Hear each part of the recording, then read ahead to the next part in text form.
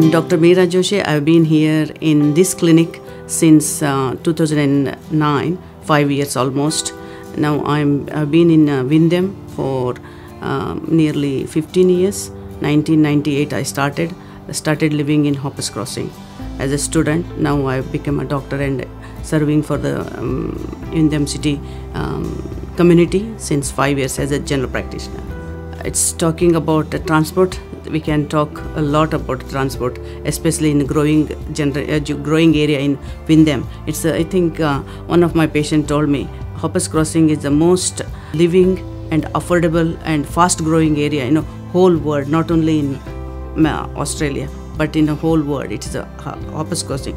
Compared to that, so many um, patients who are waiting for consultations going from one place to another place and waiting for buses, waiting for public transport is a big problem.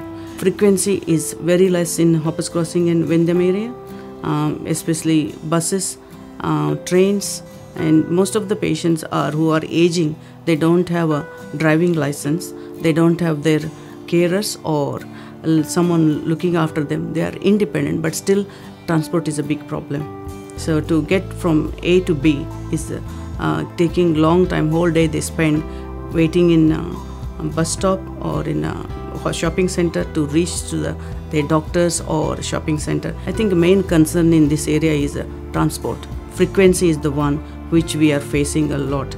Uh, in front of my clinic, you can see a bus stop uh, which is there most of my patients will come and sit here wait for bus for hours and hours together that becoming uh, very hard for patients who are living independently alone. Patients are telling me how can we cope with can you give us a taxi voucher dr joshi? Um, that is 50% off uh, from the government. So they can pay half of the uh, taxi fees instead of $10 they can pay $5 but all are not eligible for that purpose. So, in instead, if we can increase the frequency of uh, public transport, that will be more uh, convenient for the patient to reach their day-to-day life. Everywhere you see so many uh, houses, new houses, new generation. Especially most of the my patients whom I know, from where you're moving, from eastern suburb to here. Why? Because it is a large space, more uh, convenient for us, and everything is available here except the transport.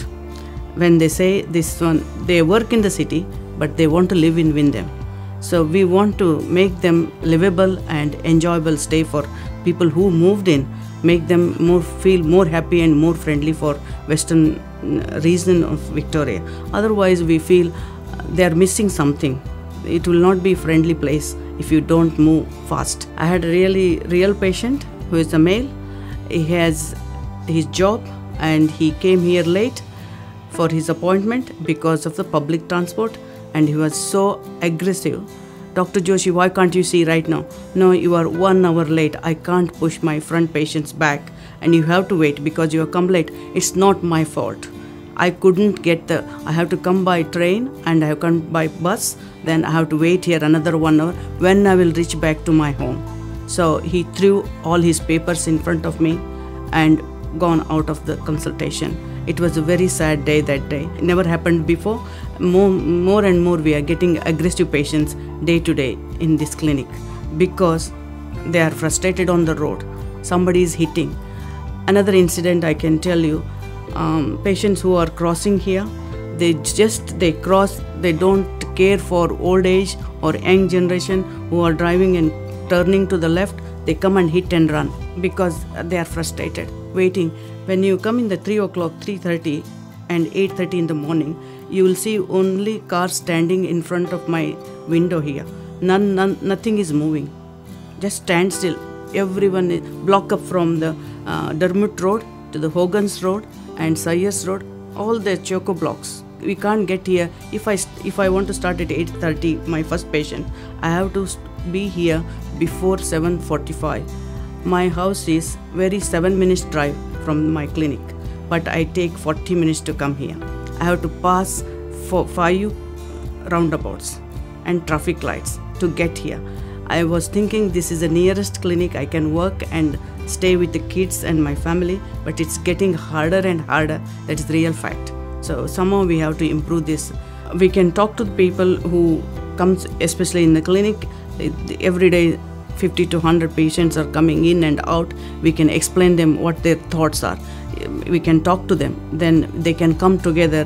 Then they can give their opinion to one person like me or someone in the council. So if uh, uh, time permits, we can talk to the whole community if when you give a even give a time to them we are dealing with a diverse community here many people are not communicating only in english there are so many other languages who are coming to talk to me. If you listen to their uh, each one individual's voice in their own way that will group together those voices can make a difference to the community. Most of the population in australia they are aging. Healthy aging group are more more than 65 to 80 85 patients are still coming to this clinic. If their transport is a problem they can't drive. Due to some other medical problems their license is taken off but they are fit to come to the clinic. Every doctor cannot go to their house to visit and give their medical treatment.